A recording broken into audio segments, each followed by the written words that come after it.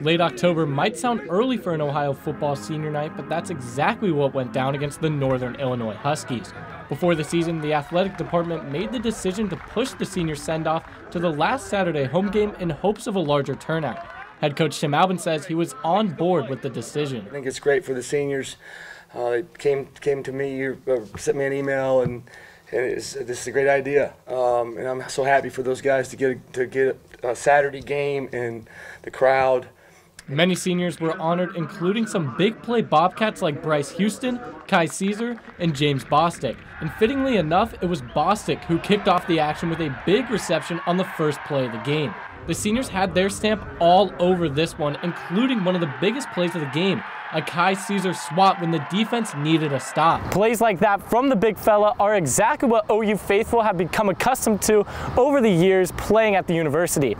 Albin reflects on the leadership Caesar's brought to the team on the defensive side of the ball. You know, the bottom line about being leader is just getting people to follow you, right? And he's got a great knack for it.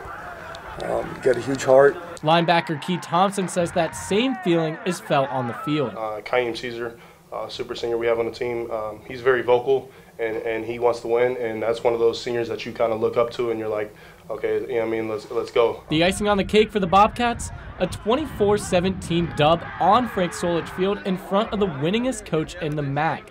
The game also served as the dedication to the new name with a halftime honoring Solich. Albin says the team has bought into defending the former coach's legacy. I heard the guys defense are talking about it. We don't we don't lose on the Frank. That's what they and that's that, the guys have been talking about it all week. We don't lose on the Frank. And no disrespect the coach. But the action isn't done for these seniors, and the team believes they can make a push towards a MAC championship. Chasing that ring, man. For Bobcat Showcase, I'm Ayden Crowley.